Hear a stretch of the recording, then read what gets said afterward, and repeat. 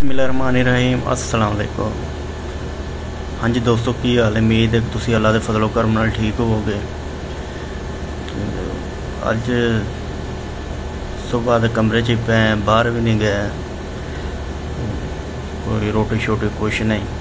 ਇੱਥੇ ਕਮਰੇ 'ਚ ਹੀ ਨਾਸ਼ਤਾ ਕੀਤਾ ਤਬੀਅਤ ਖਰਾਬ ਹੋਈ ਪਈ ਸੀ।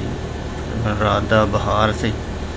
ਸਵੇਰ ਜਾਂਦਾ ਫਿਰ ਅੱਜ ਸ਼ਾਮ ਦੇ 7:30 ਹੋ ਗਏ ਨੇ। ਬਾਹਰ ਨਹੀਂ ਗਏ, ਹੁਣ ਜਾਵਾਂਗੇ ਕੋਈ ਰੋਟੀ ਰਾਟੀ ਖਾਵਾਂਗੇ। ਇੱਕ ਚੀਜ਼ ਮੈਂ ਵੇਖ ਰਿਹਾ ਕਿ ਤੁਸੀਂ ਕੋਈ ਭਾਈ ਨਾ ਚੈਨਲ ਸਬਸਕ੍ਰਾਈਬ ਕਰ ਰਿਹਾ, ਠੀਕ ਹੈ, ਕਿਸ ਕਿੰਨੀਆਂ ਵੀਡੀਓ ਪਾ ਰਿਹਾ, ਕੋਈ ਚੈਨਲ ਸਬਸਕ੍ਰਾਈਬ ਨਹੀਂ ਕਰ ਰਿਹਾ।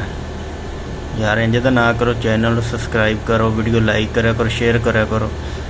ਚੈਨਲ ਦਾ ਨਾਮ ਹੈਗਾ ਜੰਨਤ ਫਾਤਮਾ, ਉਹਨੂੰ ਸਬਸਕ੍ਰਾਈਬ ਕਰੋ। ਫੇਸਬੁੱਕ ਪੇਜ ਹੈਗਾ, ਆਪਣਾ ਪਿੰਡੂ ਲਾਈਫ ਉਹਨੂੰ ਫੋਲੋ ਕਰੋ ਤੇ ਮਜ਼ੇ ਮਜ਼ੇ ਦੀਆਂ ਵੀਡੀਓ ਵੇਖਿਆ ਕਰੋ ਤੇ ਇੰਜ ਨਾ ਕਰੋ ਚੈਨਲ ਨੂੰ ਲਾਜ਼ਮੀ ਸਬਸਕ੍ਰਾਈਬ ਕਰੋ ਤੇ ਬਾਕੀ ਅੱਲਾ ਤੁਹਾਡਾ ਭਲਾ ਕਰੇ ਲੰਮੀ ਜ਼ਿੰਦਗੀ ਦੇਵੇ ਅੱਲਾ, ਪਾਕਿਸਤਾਨ ਦੇ ਹਾਲ ਤੇ ਅੱਲਾ ਰਹਿਮ ਫਰਮਾਵੇ, ਪਾਕਿਸਤਾਨ ਤਰੱਕੀਆਂ ਕਰੇ ਅੱਜ ਕੱਲ ਪਾਕਿਸਤਾਨ ਦੇ ਹਾਲਾਤ ਬਹੁਤ ਖਰਾਬ ਹੋ ਰਹੇ ਨੇ ਤੇ ਮੈਂ ਇਹ ਛੋਟੀ ਜਿਹੀ ਵੀਡੀਓ ਪਾਣੇ ਅੱਜ, ਕੋਈ ਬਾਹਰ ਨਹੀਂ ਗਿਆ, ਕੋਈ ਵਲੌਗ ਨਹੀਂ ਹੈ, ਸਿਰਫ ਮੇਰਾ ਹਾਲ ਹੈ 2 ਮਿੰਟ ਦੀ ਵੀਡੀਓ ਹੋਏਗੀ ਤੇ ਇਹਨੂੰ ਚੈਨਲ ਨੂੰ ਲਾਜ਼ਮੀ ਸਬਸਕ੍ਰਾਈਬ ਕਰੋ। ਠੀਕ ਹੈ, ਤੇ ਅੱਲਾ ਹਾਫਿਜ਼। ਦੋਵਾਂ ਚ ਯਾਦ ਰੱਖਿਆ ਜੇ।